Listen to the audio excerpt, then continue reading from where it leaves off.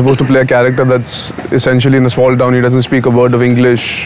His mindset is hit first, talk later.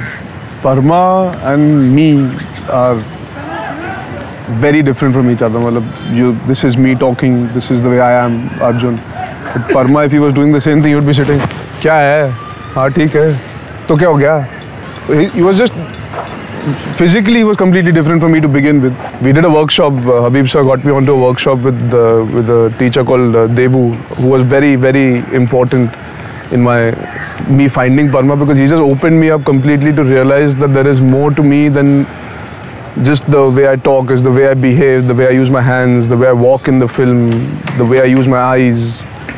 And then of course Habib sir being Habib sir was still not sold and then he put me through Kalari Payattu Luckily Habib sir had written it pretty much the way he wanted it to be spoken so I just had to make sure I get myself involved in the readings and random discussions about what this boy would do, what he would wear.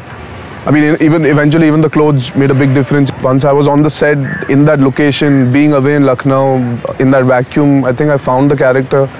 Parma is like this है उसके दिमाग में जो आएगा वो करेगा पहले करेगा फिर सोचेगा सोचेगा भी नहीं शायद वो उसने कभी सही, गलत तो उसके थॉट में आता ही नहीं और उसको लगता है जो वो कर रहा है वो सही है बिकॉज़ किसी ने उसे रोका भी नहीं होगा शायद। सब उसे डरते हैं, क्योंकि है पागल।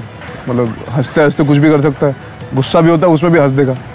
हँसते हँसते गुस्सा भी हो जाएगा। वो कूद भी जाएगा, झूल भी लेगा बाइक पर चढ़ भी जाएगा, ये भी कर लेगा, वो भी कर लेगा, मारपीट भी करता है। There was certain similarities but Parma just does